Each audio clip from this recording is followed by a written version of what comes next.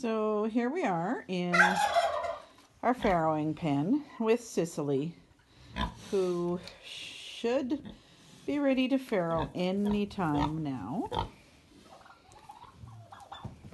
Yeah, it's hard to get videos of our sows because they're very friendly and they want to be right beside us.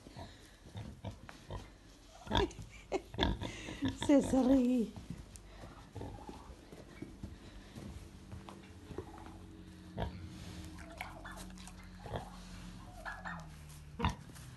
Course, we don't know how many piglets she's carrying. Hmm. Let me scratch you. Come here. You gonna come closer? I can't reach. Hey? there we go. There you go.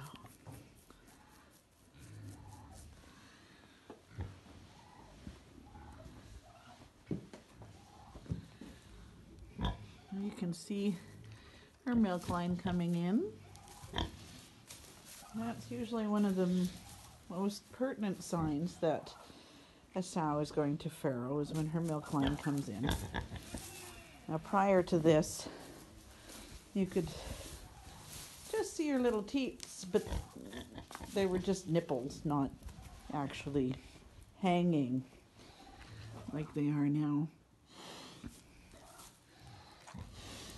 You can see her little belly there.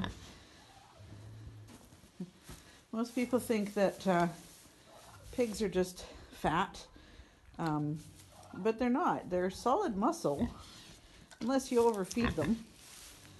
And we try not to overfeed ourselves and our boar because they need to be uh, as healthy as possible to breed for us to provide piglets.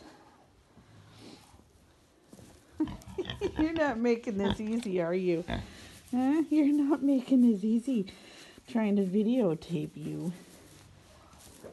The other sign of impending uh, farrowing is their their back end gets pretty floppy, which uh, a little hard to tell in this video, but not everybody wants to look at a pig's patootie. but you can see it's a little swollen and and she's gearing up to go. She's actually due tomorrow. Um, but pigs tend to have their babies in the wee early morning hours. So we've given her a nice straw bed. Um, I might actually take a little bit of that out because she accidentally opened up an extra bale.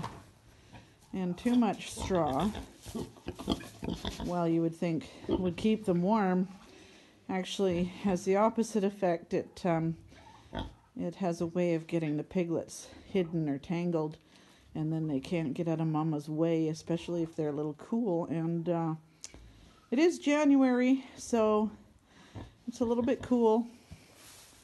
We don't normally plan piglets for this time of year, but inevitably, at least one sow has her own ideas and goes to visit our boar when they're not allowed to. Right, Cicely? Yeah, isn't that right, Cicely? Yes, it is. Hey, you're a sweet girl, though. Yes, and hopefully you'll be a good mom. This will be Cicely's first litter, and uh, we have no idea what kind of mom she's going to be. She could be a terrible mom. She could be a fantastic mom. she could be very protective, or she could be really calm and allow us in. We don't know. We'll have to see. It's not unusual for sows to be very protective of their piglets. Um, it's a good thing. Um, although we do like it when they're calm and allow us to be in with them. And uh, over there you can see we've set up a little creep. Um, this pen is sort of an awkward shape because it's not square in this corner, so we had to extend that a little bit. We've got a heat lamp in there to keep them warm, and and uh, we'll encourage them to go in there. when they're quite young so that they can stay warm when it's cool.